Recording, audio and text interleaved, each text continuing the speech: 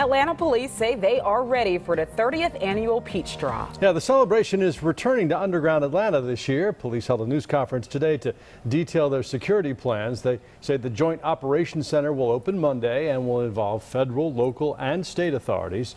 Officials will be working security on the ground as well as from above with cameras stationed in the air to record the events below.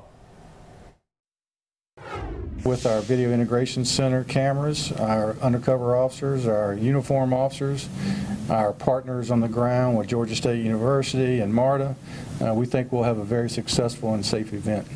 Underground Atlanta will open at 6 o'clock Monday night. The entertainment scheduled to begin at 7, but be aware that street closures around Underground Atlanta begin at 3 o'clock Monday afternoon.